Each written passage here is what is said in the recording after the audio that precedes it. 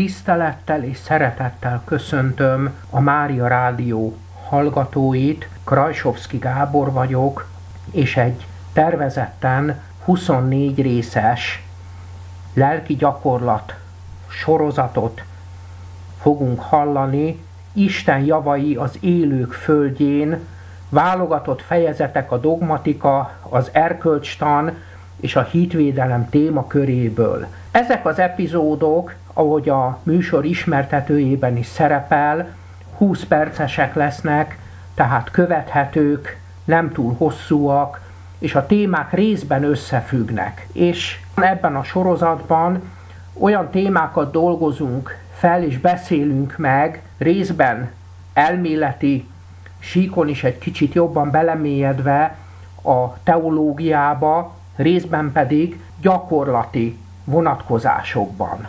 A forrása ezeknek az anyagoknak többségében a következő kiváló teológusoknak a tanításából származik, akik közül én magam is többekkel személyesen jó kapcsolatban voltam, illetve vagyok, illetve ö, tanítványként ö, mondhatom magam, így Erdős Mátyás volt Esztergomi dogmatika tanár, Bölcsvölgyi Zoltán, hitoktatóm, Jelenics István tanár úr, a Piarista gimnáziumnak a hittan tanára, azután Salamon László atya, kapucinus, aki Rómából települt haza annak idején, és három éves felnőtt katekézist tartott.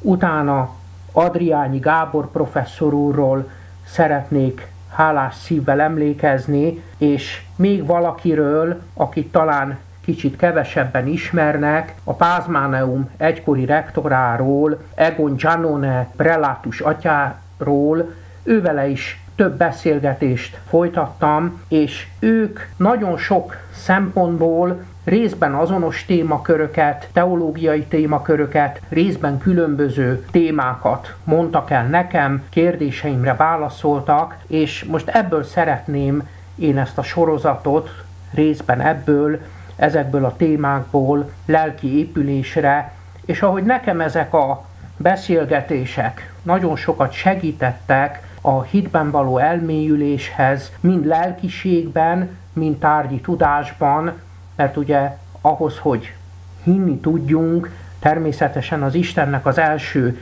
kezdeményező kegyelmét követően kell tudnunk és meg kell ismernünk azt, hogy miben higgyünk. És ehhez bizony szükséges egy elemzés, logikai vonal, egy logikai, bizonyos logikai szemlélet, és hát ezekbe is egy kicsit szeretnék én most a megfelelő mélységig ebben a sorozatban elmélyülni, illetve szeretném én ezeket továbbadni. És most ugye egy különös időszakot élünk, ugye ennek a világjárványnak az időszakát, és ha többen vannak otthon, és feltételezhetően a rádiót is többen hallgatják, és hát kérjük az Isten Anya közbenjárását is, hogy ezeknek a lelki szempontoknak a megértése és a lelkekre való pozitív hatása, a lélekben való gyarapodás az megtörténjék.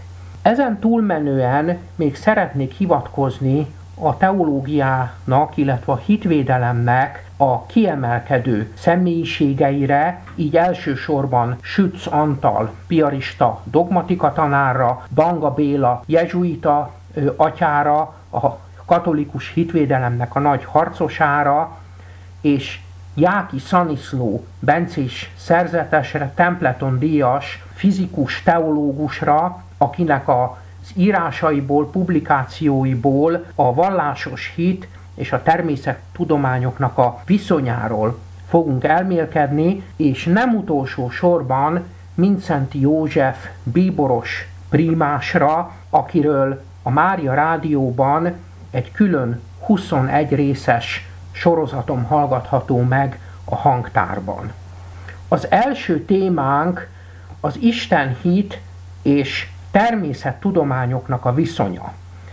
Itt természetesen nagyon sok alapfogalmat kellene megismernünk, és röviden fogjuk érinteni ehhez, aki mélyebben érdeklődik, és utána szeretne nézni, hát egyrészt az én közleményeimben is ezeket megnézheti, mert Erdős Mátyás atyáról három könyvem is jelent meg, ezek digitálisan hozzáférhetők, az úgynevezett MTMT adatbázisban, másrészt pedig Sütz Antal katolikus dogmatikájában utána lehet nagyon sok mindennek nézni, ő nagyon részletesen tárgyalja magyar nyelvű dogmatikájában, és Banga Bélának pedig a Világnézeti Válaszok című könyvében. Hát én ezeket szeretném így előzetesen forrásokként jó szívvel ajánlani. Az első kérdés az Isten hit és természettudományok viszonyához, hogy a természettudományoknak a művelői azok hogyan tudnak hozzájárulni egy tiszta, kiforrott képnek a kialakításához, nevezetesen az Isten hit és a természettudományok viszonyában.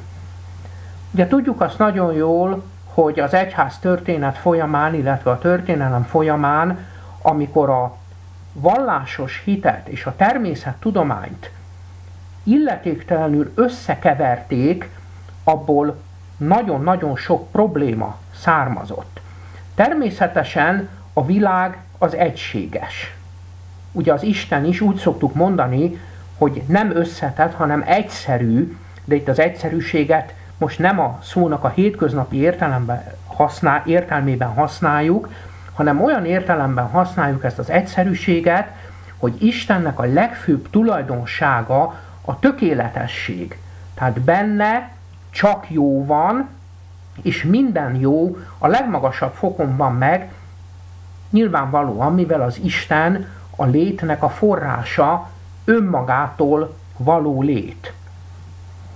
A természettudományoknak a művelői, ahogy mondani szokták, az értelmiségi réteg elsősorban az értelmiségi ember, és hát az értelmiségi embert talán úgy lehetne meghatározni, ahogyan itt például katolikus lexikonban is, vagy egyéb helyeken Jáki Szaniszló által is történik ez, hogy általában ugye felsőfokú végzettségű szemét jelent a társadalom szellemi munkával foglalkozó rétegét, amelynek az egyik legfontosabb feladata a kultúra és a tudás létrehozása, közvetítése és terjesztése.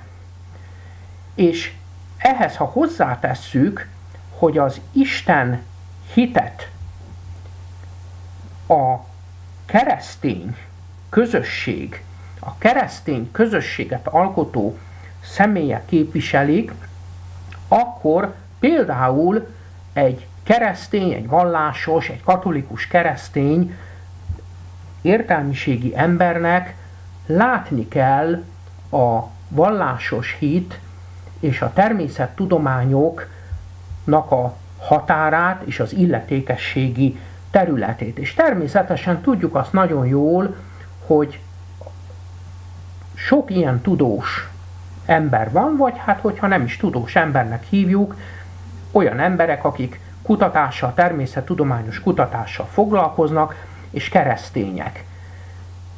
És azok a vádak, amelyek többször elhangzottak, hogy a hit az tudomány ellenes, ez nem állja meg a helyét, már csak azért sem, mert a hitnek nem illetékességi területe természettudományos kérdésekben nyilatkozni, illetőleg a természettudományoknak nem illetékessége hittani kérdésekben nyilatkozni. De ez nem azt jelenti, hogy az egyik vagy a másik terület az kevesebb lenne egymásnál, hanem egész egyszerűen az illetékességi területe az meghatározott. Ez az, amire Jáki Szaniszló nagyon pontosan rámutat. Ugye a vallásos hitnek az alapja az emberi értelem. És egy nagyon fontos különbség van a vallásos hit és a természettudományok között. És mi ez a különbség? Hát a természettudományoknál ugye általában a, ugye azt szoktuk mondani, hogy a reprodukálható, tehát a megismételhető ö, kísérletek az egyik feltétel, és a mérés. Az úgynevezett exakt tudományoknál a mérés, a kvantitativitás, hogy latinul is mondjunk egy szakszót, tehát ami megmérhető mértékegységekkel, ez jellemzi általában a természettudományokat. Természetesen ugye vannak olyan részei a természettudományoknak, például a csillagászat, hogy egy jelenséget lehet, hogy egyetlen egyszer lehet megfigyelni, nem lehet reprodukálni, de mégis az is bizonyítékot szolgáltat, akár egy egyszeri megfigyelés is. És ezeket a természettudományos megfigyeléseket úgynevezett kényszerbizonyosságnak hívjuk, tehát hogyha valami bizonyított természettudományosan, akkor azzal szemben nem lehet kifogást emelni, ha úgy tetszik, azt kötelezően el kell fogadni. Természetesen abszolút bizonyossággal és biztonsággal a tévedés a soha nincsen kizárva. Hát ugye gondoljunk a régi problémára, hogy geocentrikus vagy heliocentrikus a, a naprendszer, tehát hogy Föld körül kering a nap, vagy a nap körül kering a Föld. Tudjuk jól ezt a, ezt a vitát, és ugye az ebből való bonyodalmakat, ugye amikor a természet tudományok és a hit összekeveredett, mert ugye a Biblia az nem természettudományos leírás, hanem az egy teológiai leírás. A vallásos hit viszont egy olyan tapasztalatot ad, és ez is bizonyosság, amely nem érzékszervi tapasztalat. És ahogy mondani szoktuk, ez a hit egy személynek a megbízhatóságán alapul, és ez a személy ugye a mi hitünk szerint, most így mondjuk, tehát most a katolikus hit szerint, vagy a keresztény hit szerint mondjuk, Istent ugye létezőnek fogadjuk el, tehát ebből a szempontból mondjuk az Istennek a tekintéje.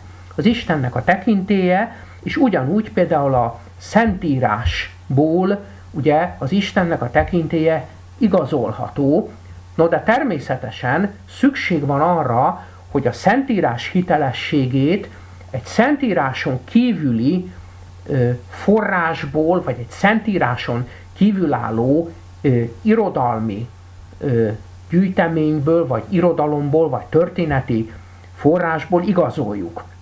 És a modern biblikum, meg a korábbi biblikum is ezt tette, hogy először a Szentírásnak a hitelességét civil, profán, történeti módszerekkel igazolta, és amikor ez igaznak bizonyult, akkor már a Szentírásba levő leírásokból, tehát evangéliumból, az Ószövetségből is, meg hát az Új Szövetségnek az egyéb részeiből is, az Istennek a tekintélyére és a, a Jézusi tanításoknak a hitelességére lehetett következtetni, és ilyen alapon lehetett ezeket elfogadni.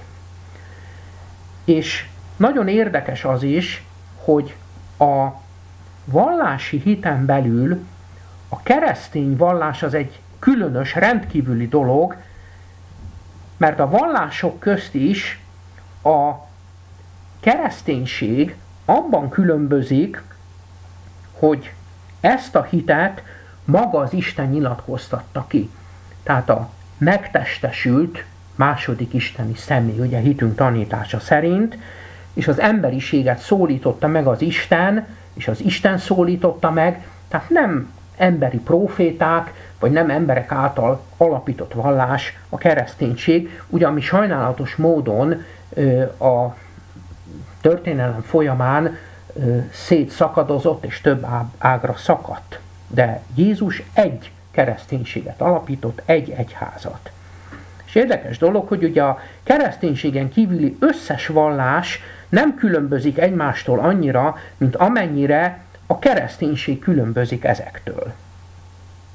Most nagyon fontos dolog az, a másik dolog, hogy az Isten szólalt meg és önmagát nyilatkoztatta ki, és az Isten a mi nyelvünkön szól. Ha az ő nyelvén szólna, ugye azt nem értenénk meg.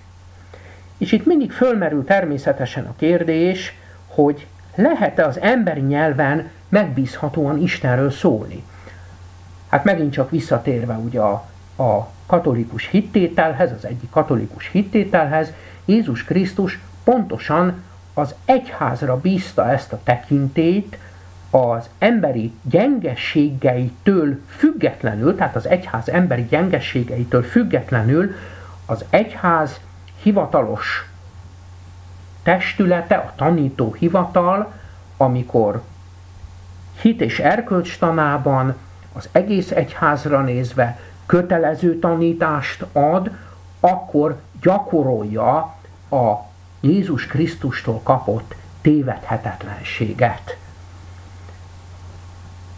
És hát az ember ö, sokszor a hittel kapcsolatban ezt a nyelvezetet ugye nem mindig érti, például ugye ezt tanítjuk, hogy majd színről színre látjuk majd az Istent. Ezt el tudjuk mondani, de ezt elképzelni nem tudjuk. Hát ugye Szent Pál is mondta, hogy szem nem látta, fül nem hallotta. Ö, érzékszervek nem tudják érzékelni azt a boldogságot és azt a létállapotot, ö, amit az Isten azoknak ígért, akik, akik szeretik őt, és hát tetteikkel ö, az Isten kegyelméből, és hát a saját érdemeiken alapulóan is majd üdvözülni fognak. És hát hogyan lehet az, hogy az Isten színről színre látjuk majd, amikor ez az Isten láthatatlan? Hát ezt most nem tudjuk fejtegetni, csak azt szerettem volna ezzel egy kicsit érzékeltetni, vagy azon gondolkodjunk el, hogy bizony a teológia nyelvezete is magyarázatokat kíván, és helyesen kell értelmezni ezeket. És ezért nem lehet önkényesen értelmezni szentírási helyeket se, meg hát az egyháznak a tanítását sem. És ugye ezt a vallásos hitet, mint tartalmat is meg kell ismerjük, de mint személyes magatartást is, tehát magunkévá kell tegyük, kell egy lelkiséget adni mögé, tehát ez nem csak egy ismeret, például a Sütz Antal dogmatikájának az ismerete, valaki levizsgázik belőle, hanem ez bizony ö, lélekkel kell megtölteni ezeket a betűket is, tehát a személyes tartalmat is hozzá kell adni. Most a elmélkedésünknek az első részében ezek lennének ezek a bevezető gondolatok, és a ugyanehhez a témához kapcsolódóan majd a következő részben a természettudomány és a teológiának a viszonyát fogjuk vizsgálni.